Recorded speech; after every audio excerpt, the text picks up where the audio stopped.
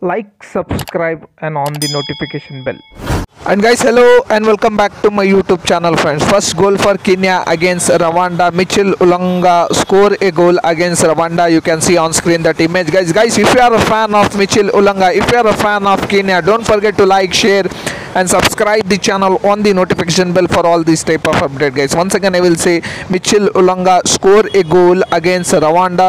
Now Rwanda is zero and Kenya is one. You can see on screen that image, guys. Guys, if you are a fan of Kenya, don't forget to like, share, and subscribe the channel on the notification bell and share this video guys thank you very much for watching